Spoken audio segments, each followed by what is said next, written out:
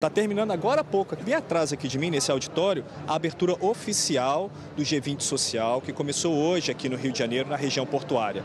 Participaram aí desse evento, né, dessa cerimônia, o secretário-geral da Presidência da República, o Márcio Macedo, a primeira-dama Janja, também o ministro das Relações Exteriores, o Mauro Vieira, a ministra Esther Dueck, a ministra Margarete Menezes da Cultura, a ministra da Mulher, Aparecida Gonçalves e várias outras autoridades. A Janja aproveitou aí essa abertura para elogiar a iniciativa do G20 Social, que é uma iniciativa inédita, né, que nunca aconteceu em nenhum G20, que começou desde em 2009, é a primeira vez que um país faz um G20 social, que é exatamente o que? Ouvir a sociedade civil, os problemas que estão acontecendo no mundo e buscar soluções.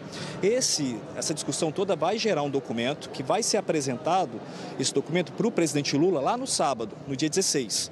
A intenção é que o presidente Lula, ao lado do presidente da África do Sul, Cyril Ramaphosa, que vai receber a presidência do G20 ano que vem, apresentem esse documento para os líderes, os chefes de Estado e chefes de governo que vão se reunir aqui no Rio de Janeiro na segunda e na terça-feira. De agora, quinta-feira até sábado, a população pode vir aqui na região portuária para participar dos eventos. É importante que olhe lá nas redes sociais, no site, no G1 você consegue acompanhar a programação, no site do G20 também você vê lá toda a programação para poder participar.